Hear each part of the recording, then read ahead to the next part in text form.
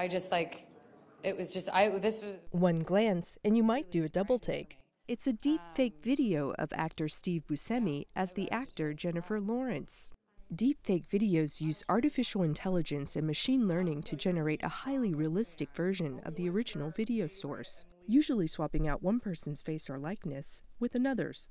I genuinely love the process of manipulating people. They can be entertaining, or they can be intentionally misleading, like this deepfake of President Obama, which tries to pass for the real thing. I don't know. Killmonger was right. The startup team at Deliberate AI believes the face replacement technology can be a force for good, and they're using it to empower an unlikely group mental health professionals. There's this constant stress for um, clinicians about kind of not having enough time to kind of recall what actually happened during their sessions. With Deliberate, therapists record their sessions with patients and have a catalog of videos to refer back to, all while maintaining patient privacy. How? That's where the face swapping technology of deepfakes comes into play. So it looks like a different person, but retains the emotional information and the characteristic information of that person's face. In this demo, actor Nicolas Cage's face is used to mask a hypothetical patient's face.